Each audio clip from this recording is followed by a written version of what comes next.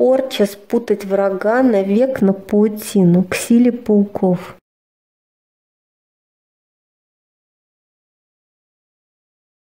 Это ничего общего не имеет с паучьей порчей и подобным. Это работа с совершенно иной силой, такой же специфической, как и маски. Пауки никогда не отпускают жертву. Поэтому ритуалы отзовутся.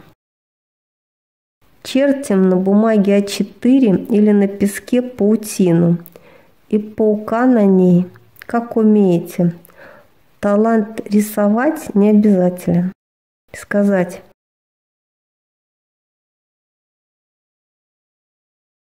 Повелительница пауков, тебя призываю.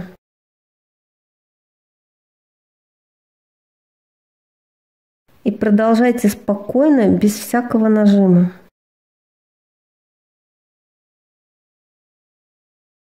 Обрушь свою мощь на моих врагов. Тебя прошу явиться в мир, Твой двор прошу явиться.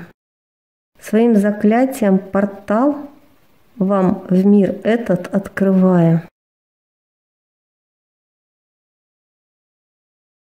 И рассказать вслух, о чем просите и о ком. Просить можно о тех, кто вас притесняет. Очень хорош, когда атакуют родственники. На вас это не падет. Это решает сила, которую вы призвали. В любом случае ничего плохого с вами не произойдет. В случае положительного решения забудете о своих врагах навсегда.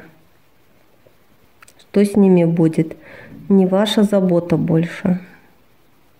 Бумагу сжечь, пепел развеять, на песке засыпать другим песком и спокойно уходите.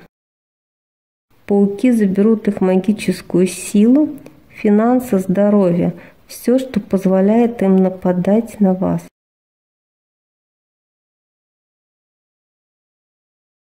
И не вздумайте пепел спускать в мусор или в канализацию. Развеять по воздуху очень четко сказано.